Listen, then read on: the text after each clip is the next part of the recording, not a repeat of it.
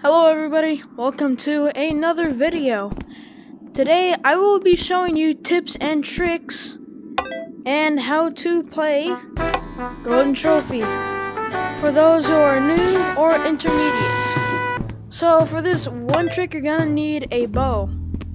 So most YouTubers don't give as simple explanations. So what you're gonna wanna do is get your bow, take your hand, and practice doing this a couple times at this speed, quickly pulling your arrow.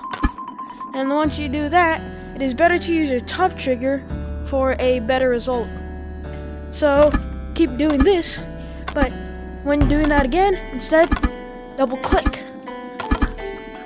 When you double click, it'll turn into a double shot.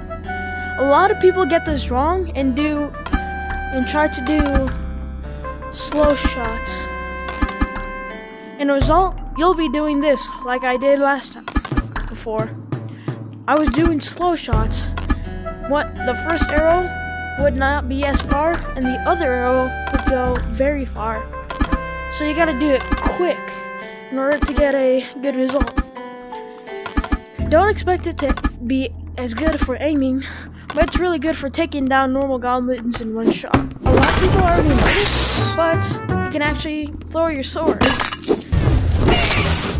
Like that. A lot of you may already know this, but there's this one spot that you can glitch to the end.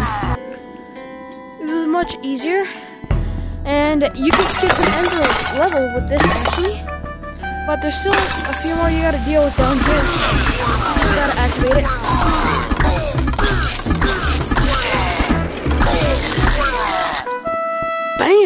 Just like that, you're at the end of the level. This one is actually something you're gonna have fun with. This one's gonna have to do with the barrel guys.